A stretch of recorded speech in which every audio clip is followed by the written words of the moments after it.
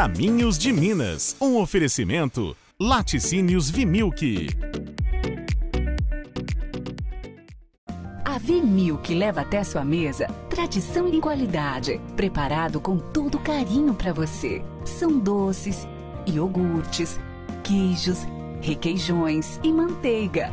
Uma grande variedade de produtos com sabores incomparáveis, garantido por quem mais entende do assunto. Hum. Experimente Vimilk. Muito mais sabor em sua mesa. Hoje o nosso passeio é na cidade de Brasópolis, ela que no dia 16 de setembro completou 122 anos e viemos conferir esta mega festa. Fomos bater um papo com o prefeito Carlos, que nos contou sobre a festa e trouxeram a bandaíra e o só para contrariar. Fomos visitar também a pousada Vidinha Bela, o sítio Seu Bento, falamos de queijo e fizemos um tour pela cidade. Então não saia daí que você vai acompanhar o nosso passeio por Brasópolis.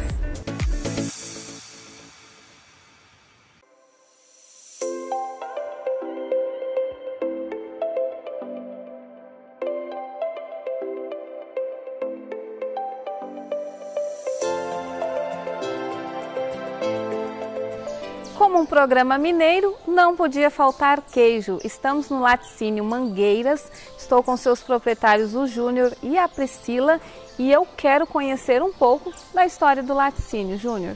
Fui convidado a fazer um curso do Senar de derivados do leite, entendeu? Isso foi em 2004. Já fazem 19 anos. Aí eu fiz o curso e logo após o curso deu a ideia de começar um laticínio. E comecei devagar, é, fazendo um queijo na panela e fui indo, fui aumentando, fui crescendo devagarzinho, já faz 19 anos. E o pessoal foi aceitando muito o queijo da gente, foi gostando. É, no começo não foi nada fácil, porque né, é difícil, é, a gente não tinha o maquinário que tem hoje, era tudo o processo manual. É, minha mãe no começo me ajudou muito, fazendo os nozinhos, dando nó nos nozinhos lá.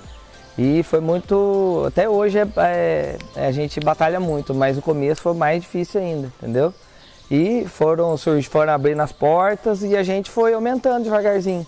Comprando maquinário e, e investindo na fábrica, investindo nos animais, investindo em infraestrutura para tirar leite. Você vê, é, hoje a gente preza muito o conforto dos animais e veio aumentando devagar. E eu, há 19 anos atrás, e com a ajuda também da é, a minha esposa, me ajuda muito, a parte é, financeira, a parte da papelada, ela me ajuda, ela corre atrás, ela faz tudo para mim. As crianças também, meus filhos também, hoje estão junto com a gente aí. E foi assim, isso chegou até onde chegou hoje, entendeu? E vamos falar um pouquinho da produção, porque você falou que o seu, você tem um queijo aqui que é especial para pizzas. Isso. Isso, a mussarela minha hoje é muito aceita pra, pelas pizzarias, entendeu? Levo muito para Itajubá, para a região aqui. E até a gente brinca que as melhores pizzas são feitas na mussarela da gente, entendeu? e é isso, aí a gente trabalha com mussarela, faz a manteiga, faz o nozinho, que até teve um concurso de atrás no Brasópolis, o queijo nosso ganhou em primeiro lugar no concurso, o nozinho. E faz o provolone, mas o carro-chefe é a mussarela. Nós visitamos também o laboratório, vocês têm um controle de qualidade rigoroso. Isso, o leite chega antes de ser descarregado, né? Chega pelo, só por caminhão-tanque. Antes de ser descarregado, ele passa pelo controle de qualidade para depois ser, ser descarregado para vir a gente trabalhar com ele. Júnior, fala um pouquinho agora sobre o prêmio que vocês ganharam. Teve uma exposição aqui em Brasópolis, aí juntaram os laticínios da região para concorrer a esse prêmio. Foi dois tipos de categoria. Categoria queijaria, que o pessoal levou queijo Minas frescal, e categoria laticínios. Aí o, os laticínios entrou com o nozinho, entendeu? E foram e o pessoal, vários jurados que decidiram pelo cheiro, sabor, é, textura e a gente ganhou em primeiro lugar. Ô Júnior, e o laticínio, só o seu leite do, das vacas aqui dá conta ou você tem que pegar de outros fornecedores? Não, a gente tem também mais fornecedores, né, é, parceiros da gente que fornece leite pra gente. É, Inclusive sua mãe? É, minha mãe, meu irmão, dentre outros produtores também que a gente só tem a agradecer pelo companheirismo e pela o tempo que está junto com a gente, entendeu? Pela parceria. Pela parceria de, de tempos, né? E hoje a gente produz aqui em torno de 2 mil litros diário e o laticínio está trabalhando na faixa de uns 9 mil litros por dia. Bastante, então né? 7 mil litros vem de, de, de fornecedor parceiro da gente. E já deu para ver que o laticínio vai por longos anos ainda, outras gerações, porque você já tem os seus sucessores, né? Então, é, até eu, na verdade, quem, quem meu pai não começou mexendo com laticínio, foi eu que comecei. Mas esse amor pelas vacas já vem herdado do meu pai, entendeu? E a gente tenta passar isso para as crianças. E, e eu acho que eles adoram, né? Adoram estar tá aqui, adoram estar tá junto, adoram tratar dos bezerrinhos e são preocupados. Chegam em casa e perguntam pra gente, e, pai, não tem vaca doente hoje? Não tem. Olha só. Eles ficam preocupados com a saúde dos animais, entendeu? Eles são muito preocupados com isso. Então, se Deus quiser, eles vão dar continuidade ao nosso trabalho, né? A esperança é essa. Sim, mesmo porque eles estão no ambiente e vão crescer assim, né? Então. E meus parabéns, Júnior e Priscila, né, pela, pelos queijos de vocês, que são deliciosos, e também por esse respeito que vocês têm pelos animais.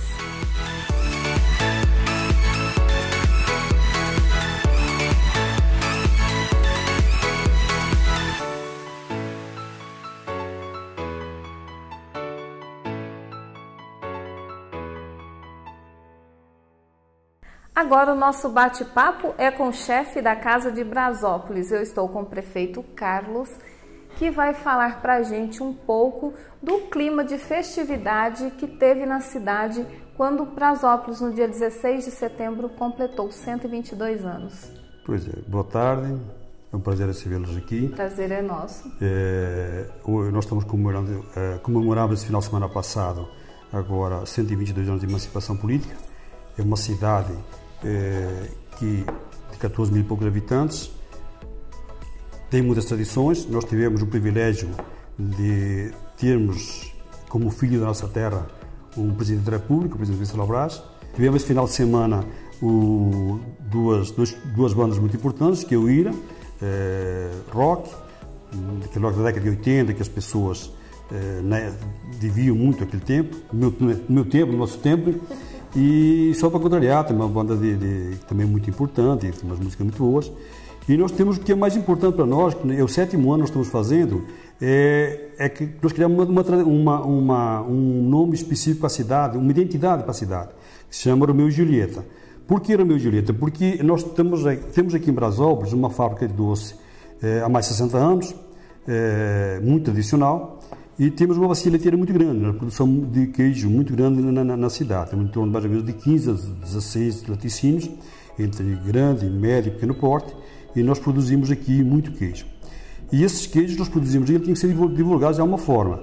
Então nós eh, estamos fazendo desde 2017, todos os anos, a quantidade de anos que a cidade faz, nós fazemos tantos quilos de queijo e tantos quilos de marmelada. Esse ano estamos fazendo 122 kg de queijo e 122 kg de marmelada, que aí a junção dos dois dá o Romeu e Julieta. Então já virou uma tradição na cidade, é um evento muito divulgado, bem muita gente. E nós temos aqui também o distrito, o distrito Luminosa, que é onde passa o caminho da fé, é onde ele tem uma, um, o percurso dele, que vem lá de perto, de Grão Preto, Sertãozinho, Águas da Prata, e vem, vai na Praça do Norte, que é o lugar mais bonito é o oásis do caminho da fé. É a serra do, do, do Quilombo, que a gente chama.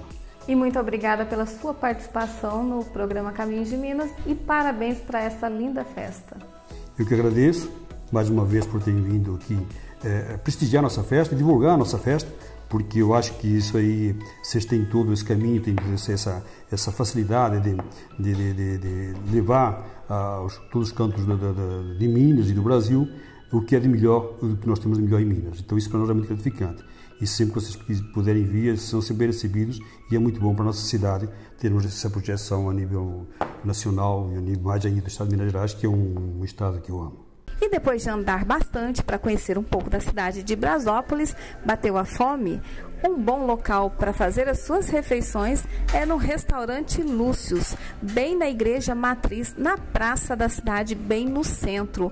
Ele abre todos os dias. Na quinta-feira tem um prato especial para quem gosta de dobradinha. Aos domingos, aquele franguinho caipira com leitoa, peixe assado e uma diversidade de comidas muito gostosas e mineiras. E não podia faltar aquelas sobremesas feita pelo pessoal do restaurante, um delicioso pudim de leite e um doce de abóbora com coco que é dos deuses. Eles também têm marmitas para quem não quer comer no local, pode levar. Então, vindo a Brasópolis, não deixe de vir se deliciar com as comidas do restaurante Lúcius, bem no centro da cidade, em frente à igreja matriz. Vamos falar um pouquinho de saúde. Estou na Aurora Produtos Naturais e vou conversar com esse simpático casal de irmãos, Gabriel e Gabriela. Tudo bem com vocês? Tudo bem, prazer. Prazer é meu. Gabriela, me fala uma coisa. Aqui é uma caixinha de surpresas. Eu mesma já tive receitas de tantos chás e eu não sabia onde encontrar aquele determinado produto. Como que vocês resolvem esse problema que as pessoas chegam aqui na dúvida? Ah, a gente vai atrás, se a gente não tem o que a pessoa procura, a gente anota o telefone, ó, vou procurar mês que vem, a gente busca aqui. Aqui realmente a ideia é a pessoa encontrar um pouquinho de cada coisa. E aquele suporte que você falou que dá para as pessoas que vêm aqui em busca? Isso, aqui a gente prioriza por entender o que está acontecendo, né? Não é só vender o produto. O cliente, o cliente chega, ah, eu estou sentindo uma dor nas costas e tal. Olha, eu tenho uma erva que vai ajudar, tenho uma pomadinha. Outro cliente, putz, eu tô com uma prisão de ventre, dá dias que eu não consigo ir no banheiro. Peraí, mas vamos entender qual, como que é a sua alimentação, quais são os seus hábitos, para a gente poder indicar o melhor produto para a situação. Gabriel, me fala uma coisa. Muitas vezes as pessoas vão nas farmácias procurar medicamento. As ervas, esses produtos, têm um resultado melhor? Olha, eu, a gente não pode dizer que é melhor, mas consegue resultados iguais. Pelo menos natural é, né? Natural é. E a gente sabe também que os produtos naturais eles exigem um pouco mais de, de tempo, frequência, paciência. de tempo, exatamente. Então é isso. Não, não posso dizer que são melhores, mas são naturais, já é uma vantagem, né? E resolvem, né? Resolve, Isso. resolve. A gente tem muito feedback de clientes falando: olha, aquele chazinho foi a mesma coisa que tirar com a mão, tava com uma enxaqueca, você receitou ali um chazinho de erva doce que seja e já resolveu.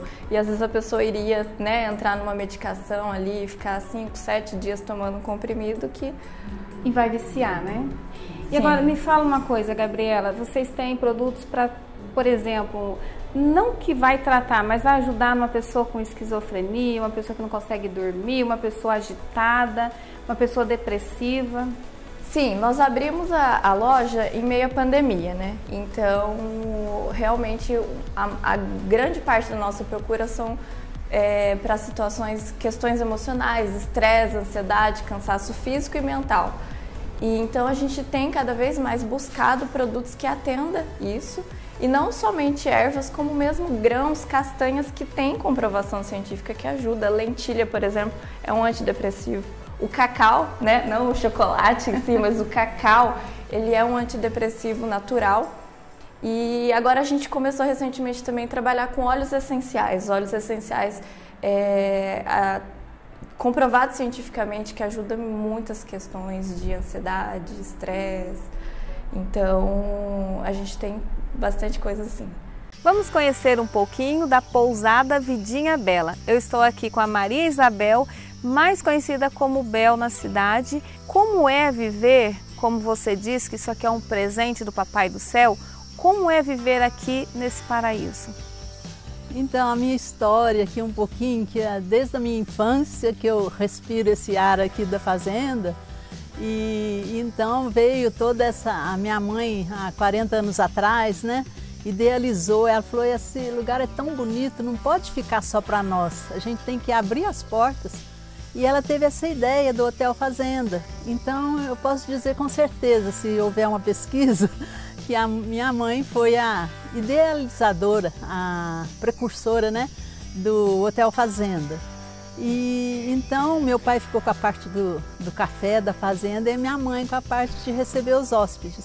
E assim veio, depois veio de, de mãe para filha, né? Então hoje e ela deu o nome aqui na fazenda de Fazenda Vale do Girassol. E porque o meu pai, ele chama Elianto, que é o nome científico de girassol. E, e a pousada fica dentro dessa fazenda familiar. E a pousada Vidinha Bela. E para quem não sabe, o Vidinha não é uma assim, Vidinha Bela. A minha avó é a dona Vidinha. Ah, é porque dá a impressão que é uma vida bela, né? Uma vida bela. E a gente ama a avó Vidinha. Então eu fiz uma homenagem aqui, tudo que tem de nome é homenagem a pessoas. E eu dei essa homenagem à minha avó Vidinha. E ela era muito bela. Então a pousada Vidinha Bela. Bel, é, quantos chalés vocês têm aqui na pousada? Então, aqui na pousada nós temos atualmente 12 chalés. E uns assim para o casal, outro para até capacidade de quatro pessoas, então dá assim para famílias com os filhos. E assim, você já inaugurou o tão esperado restaurante. Sim, o restaurante. É, durante a pandemia, a gente fez algumas obras para a gente, a gente gosta muito de trabalhar, então a gente não podia ficar parado, né? Então a gente fez muitas obras e o restaurante foi um deles. E ele ficou pronto agora e está lindo o restaurante. E só que por enquanto a gente está atendendo só aos hóspedes. E vocês em casa que estão vendo, está procurando um lugar de muita paz para descansar, trazer suas crianças ou ler um livro, ter o contato direto com a natureza e ver os pássaros de perto, o local ideal é aqui na cidade de Brasópolis, Vidinha Bela.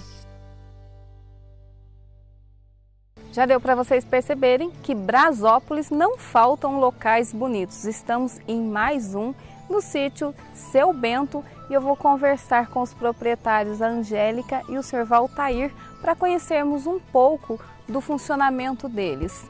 Eu gostaria que vocês apresentassem esse lugar espetacular para quem está nos assistindo. Nós estamos no sítio Seu Bento, no bairro Teodórios, na zona rural de Brasópolis.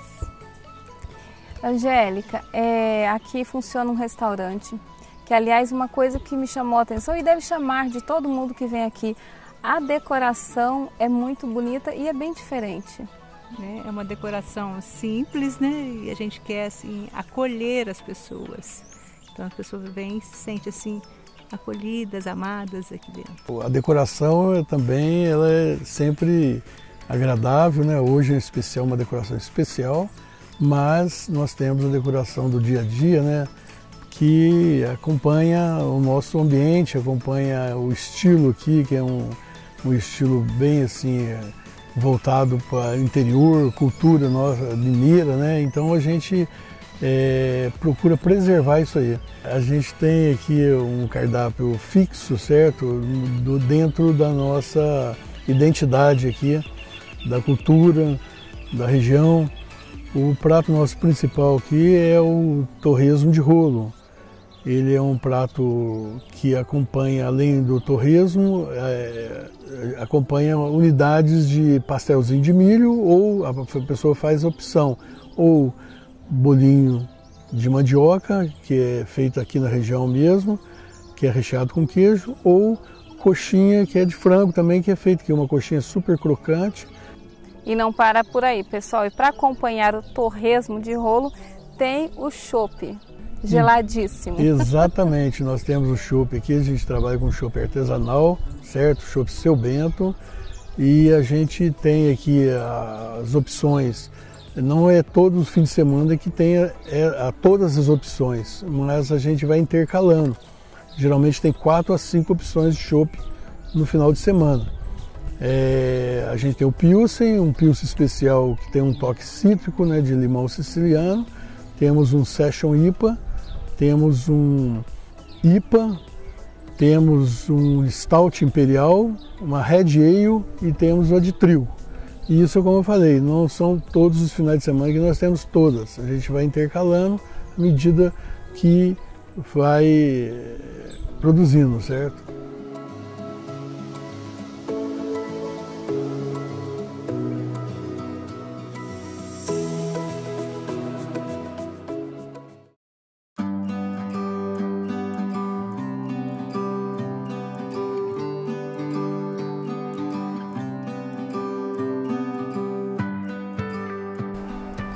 Noite aqui em Brasópolis tem um excelente local para você vir com a sua família, os seus amigos, que é a Coxinharia Mistura Fina. Eu estou com o Giovanni, que é o proprietário, e nós vamos conhecer um pouquinho mais deste local que tem uma comida nota 10, não é isso, Giovanni? Isso mesmo, nossa. E a gente tem a coxinha aberta, que é uma criação Que é uma nossa, novidade. Novidade, criação nossa. Já tem oito anos que a gente tem de, da casa e também fazemos pastéis. Temos 80 sabores de coxinha, salgada e doces. Temos 45 sabores de pastéis, massa do meu sogro da pastelaria Mistura Fina, uma massa já consagrada na cidade, massa que tem 26 anos já de tradição. Muita gente já conhece já aqui em Brasópolis, muita gente de fora conhece.